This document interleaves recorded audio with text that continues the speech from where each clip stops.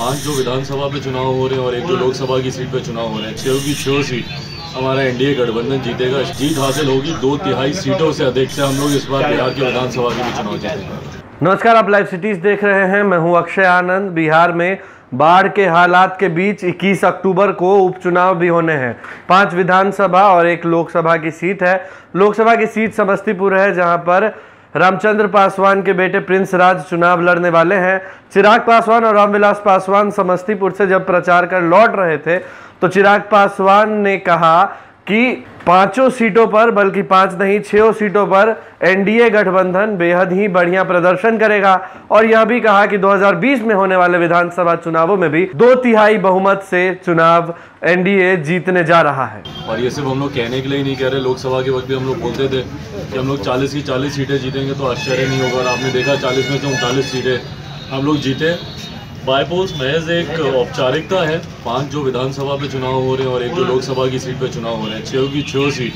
हमारा एनडीए गठबंधन जीतेगा, इसमें कहीं कोई शंका नहीं है, ना सिर्फ़ ये उपचुनाव, बल्कि 2020 के जो बिहार के जो विधानसभा के चुनाव हैं, उसमें भी इस बार एनडीए को एक ऐतिहासिक जीत हासिल होगी, दो तिहाई सीटों से अधिक से हम लोग इस बार बिहार के विधानसभा के भी चुनाव जीतेंगे। तो चिराग पासवान एनडीए के काम को लेकर एनडीए के तैयारियों को लेकर के बहुत कॉन्फिडेंट है, उनके बयान से यह साफ़ हो रहा है।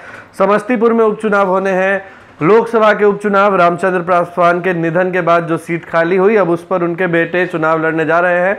वहीं महागठबंधन की ओर से कांग्रेस के उम्मीदवार अशोक राम, जो 2019 के लोकसभा चुनावों में भी लड़े थे, वही लड़ने वाले हैं। अब आगे देखना है कि जनता किसे लोकसभा पहुंचाती है, लेकिन एनडीए और चिराग पासवान के बयान से तो यह साफ़ है कि कॉन्फिडेंस में कोई कमी नहीं है, आगे विधानसभा चुनाव के लिए भी टारगेट दे दिया है।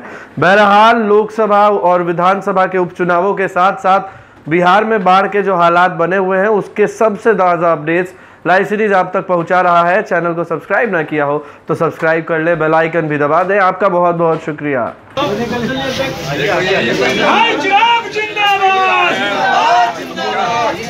क्या नाम है सबसे जो है?